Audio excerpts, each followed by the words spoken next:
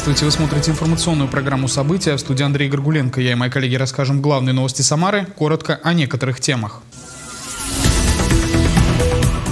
В Самаре завершают работы по устройству временного дорожного покрытия в зоне метростроя. Как будет организовано движение на Полевой и Самарской. В Самаре начали работу елочные базары. Сколько стоят новогодние деревья и как их можно упаковать на торговой площадке. Все мечты сбудутся. В Самаре вручили подарки детям, участникам акции «Елка желаний».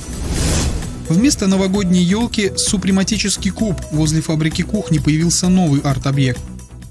На пересечении улиц Полевой, Новосадовой и Самарской после завершения части работ возобновилось движение еще по нескольким полосам. Специалисты заканчивают перестраивать инженерные коммуникации и ограничивать проезд больше не нужно. Напомню, что перекресток был недоступен для проезда из-за строительства станции метро «Театральная». Михаил Ермоленко узнал, по какой схеме теперь можно будет проехать по этому маршруту. Этап переноса инженерных коммуникаций на одном из оживленных участков города подходит к концу. Сейчас специалистам остается переустроить лишь камеру системы ливневой канализации, а это значит, что движение на пересечении улиц Полевой, Новосадовой и Самарской стало свободнее. С самого утра специалисты были заняты подготовкой дорожного полотна и ограждений для стройплощадки. И уже в обед транспорт вовсю колесил по обновленному маршруту. С открытием движения по улице Полевой теперь можно проехать вверх к проспекту Ленина по двум полосам. С крайней правой можно повернуть на Самарскую, а с этой улицы также доступен поворот направо в сторону проспекта Ленина. Как уже ранее отмечали сотрудники профильного департамента, временные ограничения в связи с метростроем не вызвали транспортного коллапса. Все благодаря предварительной, основательной подготовке. Заблаговременно были отработаны пути объезда, изменена организация движения, установлены дополнительные знаки, новые светофоры, в том числе там вот э, Новосадовый поворот предусмотрели. Но теперь э, этот перекресток проехать будет еще проще, и я думаю, что все автолюбители это оценят уже сегодня. Напомним, что ранее, минувшей осенью, движение на пересечении улиц ограничили. Это вынужденная мера, так как метростроевцам необходимо было подготовить участок к разработке котлована, но перед этим к переустройству инженерных коммуникаций. За время ограничений на перекрестке большинство жителей не испытали особых проблем с передвижением как на автомобиле, так и на общественном транспорте. Цель оправдывает средства по ее достижению. Главное, чтобы строительство метро активно продолжалось. Метро это вообще супер. Я считаю, что это ну, очень удобно, потому что быстро, без пробок и ну, э, я, конечно, с удовольствием за расширение метро. Это класс. Власти и строители подчеркивают, что минимизация неудобств для горожан остается одним из приоритетных направлений. С возобновлением движения на перекрестке станет легче, отмечают самарцы. Я думаю, что будет удобнее. Когда делают что-то, они же улучшают. Конечно, наладится. Все. Ну, они уже открыли хотя бы вот такое движение. Вот. Уже хорошо. Я думаю, все будет нормально. На перекрестке возобновилось движение и общественного транспорта. Актуальные маршруты вы видите на экране. Их также можно посмотреть на сайте городской администрации. Представитель департамента транспорта рассказал, что специалисты продолжат внимательно следить за ситуацией на этом перекрестке, где в том числе восстановили работу пешеходных светофоров. Также в ближайшей перспективе подрядчик планирует привести в порядок и площадку возле ресторана быстрого питания, тротуар, газон и часть парковочного пространства. Строительство метрополитена идет круглосуточно. В будущем с вводом театральной в эксплуатацию со строительством нового оборотного тупика появится возможность пускать электропоезда одновременно по двум направлениям. А пока от Алабинской до Российской составы ходят по однопутной трассе. Вместе с тем, после завершения строительства первой ветки Самарского метро уменьшится интервал движения поездов до 6-8 минут, отметили специалисты муниципального предприятия «Самарский метрополитен». Михаил Ермоленко, Максим Гусев. События. В Самаре начали работу елочные базары. Узнать их можно по ярким фирменным вывескам и деревянному ограждению. Как долго продлится их работа и сколько стоят новогодние деревья в нашем сюжете. Сосны, ели и даже пихты на любой вкус и кошелек. В Самаре открылись елочные базары. В городе их работает 150. Фирменная вывеска говорит о том, что с документами у продавцов новогодних деревьев все в порядке. На руках у предпринимателей имеются и договор на осуществление торговли, и документ о происхождении товара. А значит, сосны и ели были вырублены в специальных посадках, без ущерба для природы. Заготавливают деревья в августе, а потом хранят в особых условиях. Зимой спиливать сосны нельзя, иначе они осыпятся раньше, чем закончатся новогодние праздники. По словам продавцов, сосны пользуются большей популярностью, чем ели, поскольку они доступнее по цене. Стоимость маленького деревца начинается от 500 рублей. Большие обойдутся в 2-3 тысячи. В последнее время в моду вошли ели, выращенные из импортных семян в Сибири. Но цены на них кусаются, поэтому встретить их можно не на каждом базаре. Елки нам привозят с Пензенской области, с Ульяновской. И самые пышные у нас с Екатеринбурга. По большей части приходят э, люди пожилого возраста, либо семейные пары с детьми. Елочные базары работают с 9 утра и до позднего вечера без выходных. В 12 часов дня 31 декабря они закончат работу. У продавцов будет 3 часа, чтобы привести место в порядок и убрать мусор. До трех часов убираются, потом инспектируются все точки на предмет оставленного мусора. Договорами с предпринимателем предусмотрена залоговая сумма, которая позволяет в случае нарушения условий договора использовать ее для уборки территории.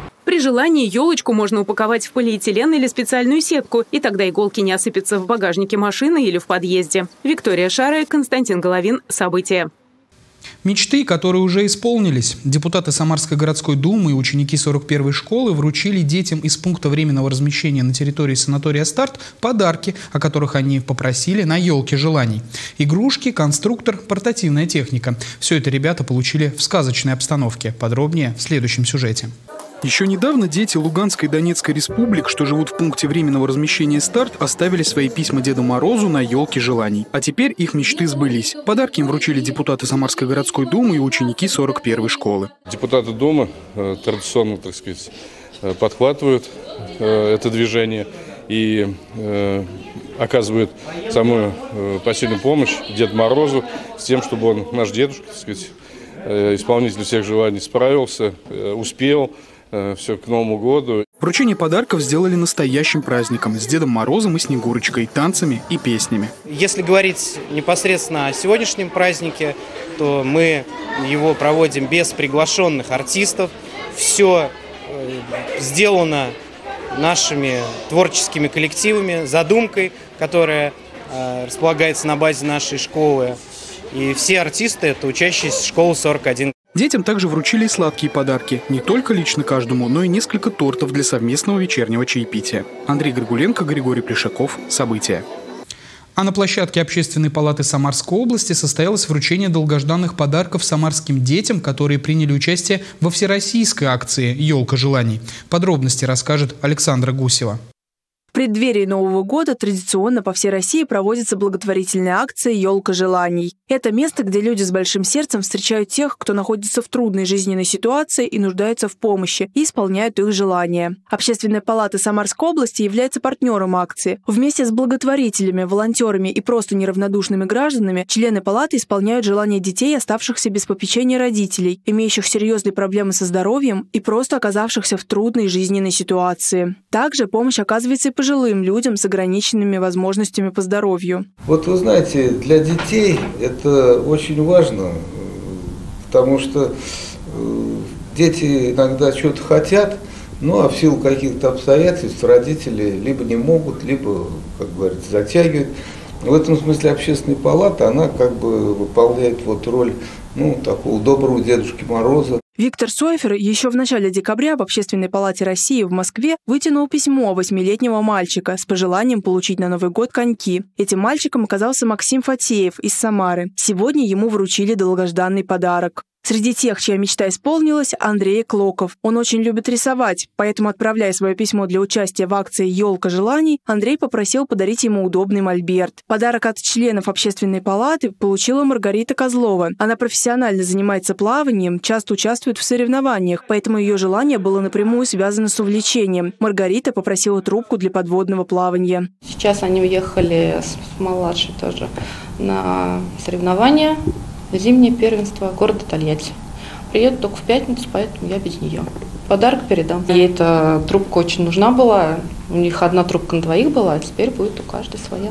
Самая добрая акция «Елка желаний» проводится уже не первый год. За все время она помогла исполнить мечты сотен тысяч людей по всей России. Александра Гусева, Максим Гусев. События. В Самарской области прошел благотворительный поход с собаками породы хаски. Все они когда-то оказались на улице, но попали в местный приют. Сейчас животные ищут новый дом и любящих хозяев. Насладиться волжскими пейзажами и свежим воздухом соснового леса отправились более 50 человек. Маршрут протяженностью 10 километров пролегал по живописным местам от поселка Прибрежный до платформы имени Валерия Грушина и обратно. Кульминационной точкой стал мыс Красоты, где участники отдохнули и обменялись впечатлениями. Главная цель такого похода – заявить о том, что животным, особенно бездомным, нужна помощь. Идея походов с собаками нашла отклик в сердцах многих людей. По словам организаторов, их проведение в Самарской области станет теперь доброй традицией. Получилось очень здорово. Люди все, конечно, полны впечатлений. Нам удалось очень много узнать о наших собаках, какие они на самом деле, какую семью бы они подошли лучше. Именно в таких мероприятиях проявляется их истинная какая-то вот личностная характеристика обрести второе рождение и полностью излечиться от заболевания. Ежегодно в больнице имени Середавина проводят уникальные операции по клипированию аневризмы сосудов головного мозга. Полностью вылечить за год удается более 100 человек. Процент выздоровления растет, если пациенты своевременно обращаются за помощью к медикам и проходят профилактические осмотры. О симптомах, которые свидетельствуют о наличии заболевания и рабочем дне главного нейрохирурга Самарской области, репортаж Ольги Павловой. На подготовку к операции у главного нейрохирурга области Геннадия Алексеева уходит не более пяти минут. Но именно с этого и начинается самая кропотливая работа. Счет на часы идет уже здесь, в операционной, куда поступают пациенты с тяжелыми и сложными диагнозами. Некоторых приходится оперировать по 8-10 часов. Сегодня у Геннадия Николаевича пациент с аневризмой сосудов головного мозга. О своем заболевании узнал случайно после магнитно-резонансной томографии. Аневризма, чем она опасна? Она может разрываться в любой совершенно момент – а поскольку она локализуется на крупном сосуде, то кровоизлияние достаточно большое. Под большим ударом, с большой скоростью кровь выходит э, за пределы сосуда и ударяет по мозгу. После э, третьего, четвертого разрыва аневризма, сказать, э, как правило, это стопроцентная летальность. Пациентов с таким диагнозом в областной больнице Середавина оперируют регулярно, в год от 100 до 110 человек. Очень важно, отмечают медики, обратиться за помощью вовремя. Для этого раз в год необходимо проходить профилактические осмотры. И в случае таких симптомов, как нарушение тонуса лицевых мышц, головная боль, рвота, тошнота, светобоязнь, а тем более потери сознания, незамедлительно обратиться к врачу, что недавно и сделал пациент Геннадия Алексеева Михаил Лебедев. Э, давайте посмотрим, поднимите руки вверх, пожалуйста. А, вот. Глаза закройте, полежите немножко. После операции прошло два дня. Михаил чувствует себя нормально и понемногу начинает двигаться и вставать с кровати. Сейчас он рад тому, что оказался вовремя у квалифицированных врачей и благодарит хирурга. Ну, были приступы. Вот, а тут оказалось у меня какая-то обширная это, гематома там. Ну, вот ее удалили. Врачи очень хорошие, всегда на обходе спрашивают внимательно, как бы все нормально. Я доволен, если честно, что я попал сюда. Операция при аневризме сосудов головного мозга проводится двумя способами – открытым и закрытым. Выбрать наиболее оптимальный помогают соответствующие методы диагностики. Основными являются ангиография, компьютерная томография головного мозга, магнитно-резонансная томография. Этим тонкостям учат студентов медицинского университета. Сегодня на лекции у главного нейрохирурга области будущие стоматологи, но все из них уже знают о том, что головная боль может быть следствием проблем с зубами и полостью рта. Больше всего ребятам нравится присутствовать на операциях операции захватывающие, то есть там полностью субординация, бахилы, маски, чепчики, хирургические костюмы, ты приходишь группой, заходишь там не всей группой по несколько человек, смотришь, как профессионалы делают свою работу, это действительно завораживает, ты наблюдаешь за этим и хочется даже попробовать, посмотреть поближе. Да и на практике, отмечают студенты, материал усваивается быстрее. Удается не только без учебника освоить большую часть программы, но и прикоснуться к тайнам профессии хирурга. А пока есть пациенты, которым можно помочь, откровенничает нейрохирург Геннадий Алексеев, студентов будет чему учить, а врачам будет кого спасать, кому дарить новые эмоции и жизни. Ольга Павлова, Константин Головин. События. Далее коротко о других событиях дня. За диверсии и содействие такой преступной деятельности в России будет грозить наказание вплоть до пожизненного лишения свободы. Такой законопроект прошел второе, основное чтение в Госдуме. Предлагается закрепить новые составы преступлений с возможностью максимального срока, в частности, содействие диверсионной деятельности и прохождение такого обучения. Также статью предлагается дополнить новым пунктом – совершение преступления в целях пропаганды, оправдания и поддержки диверсии Центробанке заявили о блокировке рекордного числа мошенников в ноябре. Речь идет о номерах более 110 тысяч злоумышленников. Это самый большой показатель с 2019 года. Как отмечается, по итогам третьего квартала значительная доля хищений была проведена через сервисы дистанционного банковского обслуживания. При этом число номеров мобильных телефонов, с которых мошенники звонят россиянам, выросло более чем в 30 раз. Эксперты считают, что к концу года ситуация может ухудшиться. На базе «Лады Гранта» сделают беспилотный автомобиль. Сейчас специалисты спроектировали, изготовили и провели испытания ключевых узлов управления и механизмов, задействованных в управлении автомобилем. Первые натурные испытания системы прошли на полигоне группы ГАЗ в Нижнем Новгороде, а в ближайшее время ожидается подписание договора о сотрудничестве с «АвтоВАЗом». По оценке разработчиков, создаваемая система позволит превратить любой транспорт в автономный, без серьезных доработок серийной конструкции четверг, 22 декабря, в России начнется астрономическая зима. Она наступит в день зимнего солнцестояния. С этого момента длина светового дня начнет расти, рассказали в гидрометцентре. Про этот день в старину говорили, что солнце поворачивается на лето, а зима на мороз. Однако заметно световой день подрастет лишь к концу января, в пик зимы. В Самарскую область идут сильные магнитные бури. Солнечное возмущение в эту среду достигнет 4 баллов, в субботу и воскресенье 5 баллов. Специалисты рекомендуют чувствительным жителям региона снизить физические и умственные нагрузки, правильно питаться, достаточно спать, проветривать помещение и выходить на прогулки. Также стоит ограничить потребление энергетических напитков и алкоголя, воздержаться от курения и запастись медикаментами. Приоткрыть дверцу в мир сказки возможно. В Самарском парке имени Юрия Гагарина открылась мировая выставка световых инсталляций. Ранее фестиваль с большим успехом проходил в крупных городах – Москве, Санкт-Петербурге, Екатеринбурге, Минске и других. Подробнее о фестивале волшебных фонарей расскажет наш корреспондент Александра Гусева.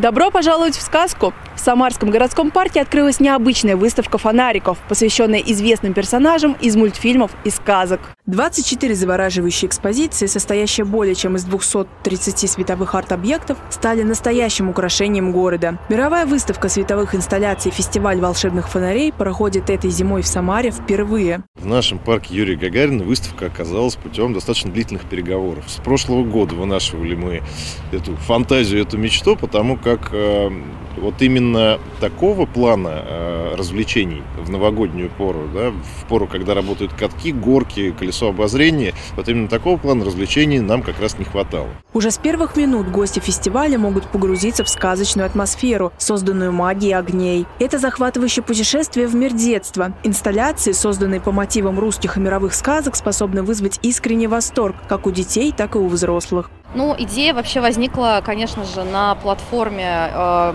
мирового известного явления, скажем так, как э, китайские фонари. В Китае очень популярны подобные инсталляции в виде э, подсвеченных фонариков.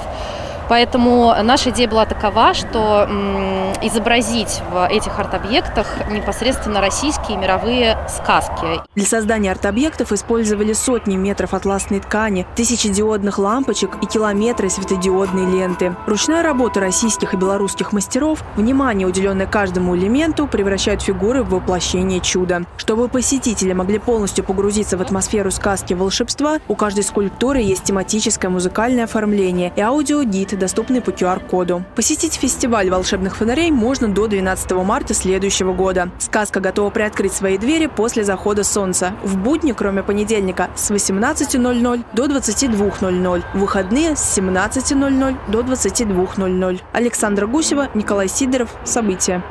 Еще один арт-объект появился возле филиала Третьяковской галереи в Самаре. Там установили 7-метровый супрематический куб. На его открытие приехал автор проекта, художник и скульптор, яркий представитель современного российского ленд-арта Николай Полисский. На открытии арт-объекта побывала наша съемочная группа. Светлана Кудрявцева готова поделиться подробностями. То ли кубическая елка, то ли подарочный бокс, то ли цифровой пиксель, а то ли просто отсылка к искусству русского авангарда. Каждый зритель может найти свою ассоциацию для нового арт-объекта. У здания фабрики кухни, где теперь размещается самарский филиал Третьяковской галереи, установили 7-метровый супрематический куб. Я от всей души хочу поблагодарить нашу замечательную творческую молодую команду Третьяковской галереи, что они продолжают нас радовать своими просветительскими творческими креативными проектами. У меня ассоциируется, что этот арт-объект, это новогодняя елка с хорошими желаниями, с хорошим настроением, с хорошим праздничным таким вот подарочным образом. Самарская Третьяковка – это искусство внутри и снаружи. Музей расширяет свои границы, поэтому даже территория вокруг становится местом для творчества. Люди могут, не заходя внутрь, познакомиться с а, какими-то известными российскими не только художниками. Это часть такой программы музея, ее публичной работы музея, очень важная. И вот этот вот э, объект, э, я надеюсь, что он будет стартом такой традиции устанавливать каждый год э, в преддверии Нового года, может быть, э, не только объекты вот на улице э, разных художников, разного стиля, опыта, возраста. Но, конечно, для нас было важно начать с э, такого громкого имени, и мы очень рады, что Николай Полиский согласился. Это ну, это мировая величина, такой живой классик ленд-арта, и э, который работал в многих городах мира. Именно для Самары Николай Полиский приготовил свой новый проект «Супрематический куб». Геометрия и цвет доминируют в искусстве супрематизма. Впервые термин применил Казимир Малевич для характеристики своих абстрактных композиций к творчеству знаменитого авангардиста и отсылает нас работа Николая Полисского. Ваш куб абсолютно новая моя как бы тема и вот с цветом. Я вспомнил себя, что я 30 лет назад был живописцем, и вот э, пытаюсь всю свою жизнь закольцевать. Поэтому здесь э, уникальная совершенно вещь, но она посвящена Малевичу потому что люди всегда рассматривают его квадрат, пытаются там что-то увидеть, а вот здесь можно посмотреть, что же там, что же там есть. Вот, там есть много-много цвета, потому что черный цвет – это как раз вот когда все цвета собираются при определенных условиях вместе. И в этом черном есть очень много смыслов. Но видеть Малевича надо духовным зрением. Куб создан из природных материалов. Это 700 стволов, в том числе засохшие, сломленные стихии деревья. Древесину доставили из Никола Ленивца Калужской области, а собирали арт-объект уже в Самаре. Что такая детская площадка? То есть она тогда в такие цвета была раскрашена. Я вообще люблю все, что связано с деревом. С детства у нас дерево вокруг, поэтому, естественно, и цвета современные, яркие. Ну, лазить нет, нет, не полезем. В новогодние праздники в галерее организуют образовательную программу, посвященную уличному искусству. А официальное открытие всего музейного комплекса на территории фабрики кухни, здание которой само уже является памятником архитектуры, запланировано на первую половину следующего года. Светлана Кудрявцева, Николай Епифанов. События. Далее эфир продолжит обзор телеграм-каналов городской администрации и профильных ведомств. Вот о чем они сегодня писали на своих информационных площадках. Активный досуг и общение. В Самаре этой зимой будут работать более 120 бесплатных катков. Ледовые площадки примут любителей активного отдыха на площади Славы, площади Куйбышева, на набережной, в парках, на территориях образовательных учреждений и во дворах, информирует телеграм-канал городской администрации «Вести с Дворянской». Работа по заливке катков и подготовке оборудования идет в ежедневном режиме и при благоприятных погодных условиях завершится к Новому году. За состоянием и качеством ледового покрытия следят организации организации, на территории которой располагаются катки. Телеграм-канал администрации промышленного района приглашает принять участие в онлайн-опросе по теме «Новогодние украшения общественных пространств». На портале госуслуги «Решаем вместе» можно ответить на вопрос «Как вы относитесь к новогодним украшениям общественных пространств?». Анкетирование анонимное. Голосование продлится до 31 декабря. В Ленинском районе появилось новое городское творческое пространство – музей-галерея «Заварка» в доме Маштакова, одном из главных символов деревянного зодчества города. Музей-галерея делится на две части. На первом этаже расположилась уютная традиционная чайная с выставочными элементами, а второй этаж занимает выставочно-экспозиционное пространство с конференц-залом, где завариваются разные идеи. В музее сохранили атмосферу купеческого дома, большинство деревянных балок и перекрытий, дореволюционные лестницы и дранка, обои и кусочки штукатурки, паркет и чердачная зона. Большую часть дома отреставрировали и сохранили в первоначальном виде. Время работы музея с 12.00 до 20.00, сообщает телеграм-канал администрации Ленинского района. На этом наш выпуск завершен. Продолжайте следить за новостями на официальном сайте Самара ГИС, в нашем телеграм-канале, на страницах в Одноклассниках и ВКонтакте. Выпуски новостей смотрите на видеохостингах и в социальных сетях. Всего доброго, увидимся.